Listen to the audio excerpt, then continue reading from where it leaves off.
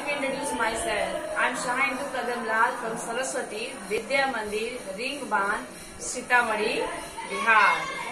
First of all, I would like to thank the whole team of Vidya Bharati for giving us such a great opportunity for us to attend this English spoken class, which was really a great experience for all of us.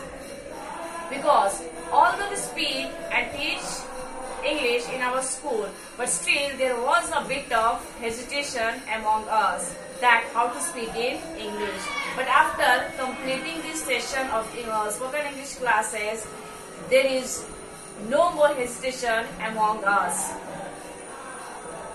And the most interesting session of the spoken class was the room breaking session which I really liked very much because in this session we came to across we came to meet across the people from all over the state which was really a very nice thing for us kind of people from different states which was really a wonderful experience and last but not the least I would like to thanks from the bottom of my heart for motivating us to speak in English which is really an important part of our day-to-day life.